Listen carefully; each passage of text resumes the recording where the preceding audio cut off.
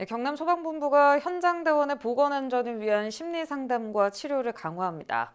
이를 위해 소방본부는 범죄 피해 트라우마 통합 지원 기관인 창원 스마일 센터와 최근 비대면 업무 협약을 맺었습니다. 소방본부는 이번 협약을 통해 소방대원들을 집중적으로 관리하고 치료함으로써 현장 대원이 최적 상태에서 근무할 수 있도록 지원한다는 계획입니다.